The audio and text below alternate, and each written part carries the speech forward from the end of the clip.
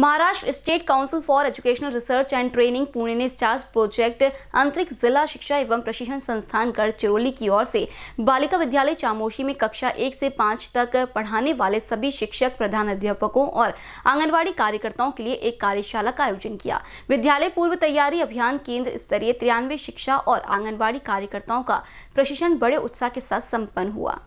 इस अवसर पर हिम्मतराव आभारे केंद्र प्रमुख वजला तामडे, मुख्य अतिथि लता नागराले, टीटी सरकार, मीना ठेत, प्रशिक्षण की फैसिलिटर नरेंद्र भाई सारे सब्जेक्ट रिसोर्स पर्सन और inspector Changdev Sorate resource person Vandana Chalak उपस्थित थीं।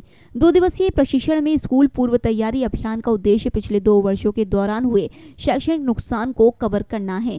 छात्रों को प्रथम श्रेणी के लिए तैयार करने पर ज़ोर दिया गया। इस बात पर ज़ोर दिया गया कि माता पिता को अपने बच्चों को पढ़ाने के लिए प्रेरित करने के लिए साक्षर होने की आवश्यकता नहीं है।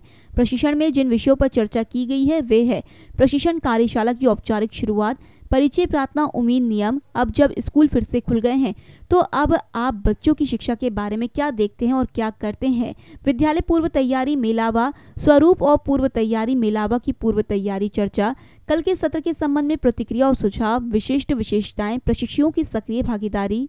समूह चर्चा और प्रस्तुतियाँ, टीम भावना है। पूर्व विद्यालय तैयारी अभियान क्यों? कोविड 19 के कारण मार्च 2020 से स्कूलों को अचानक बंद कर दिया गया।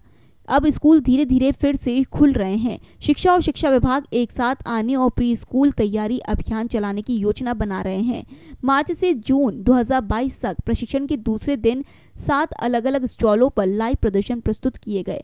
अगर बच्चों को स्कूल में अच्छी शुरुआत मिलती है तो उनके लिए आगे की शिक्षा हासिल करना आसान हो जाएगा।